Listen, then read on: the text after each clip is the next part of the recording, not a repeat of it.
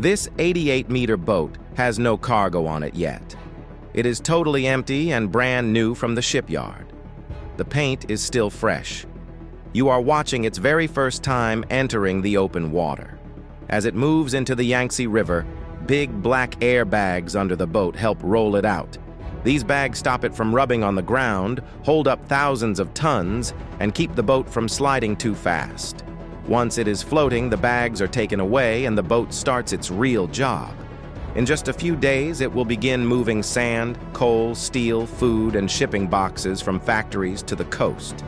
These boats are built on the riverbank because there is not enough room in regular docks.